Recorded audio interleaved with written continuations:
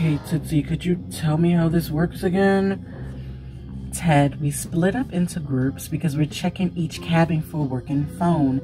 Someone's using a cell phone jammer, so none of our cell phones are working. But someone told us that one of these cabins has a working landline. So, Ted, put the weed down and keep checking each drawer.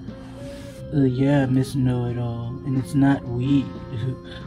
uh, it's inedible.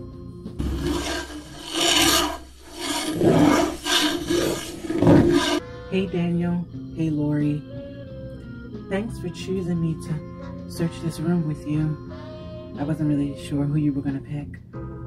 Come on, Lori. Who else do you think I'd pick? I don't know. You always seem so shy at school, so I don't know if you feel the same way I feel.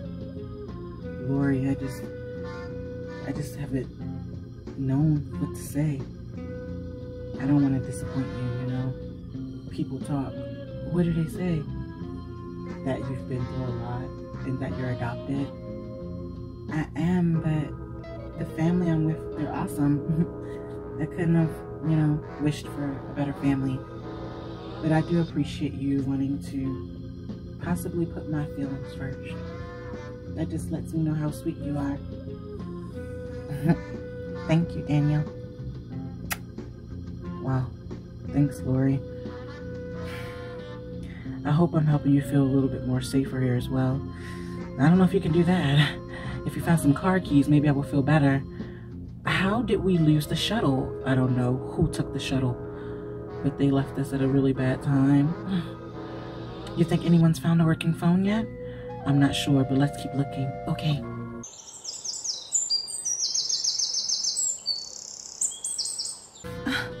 Where could they be? We need to find a phone or some type of car keys. I don't know. There is another car on ground, right, Greg? I don't know, Chris, but I'm just loving the view. Mm.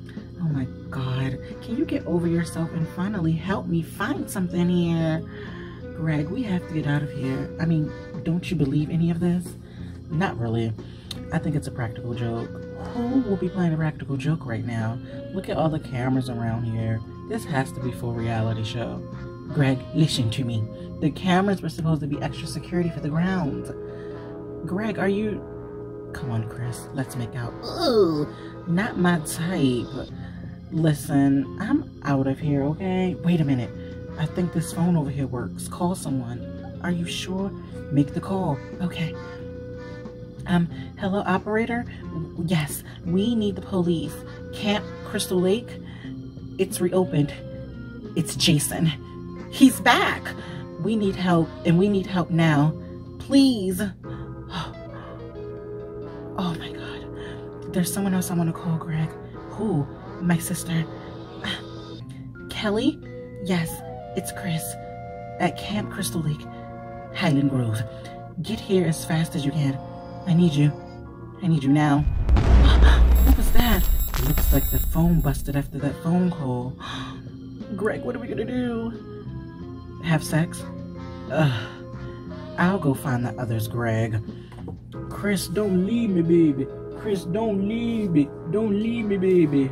Oh, I can't believe everyone's believing this crap. Jason Voorhees, there's a killer on campus. Please.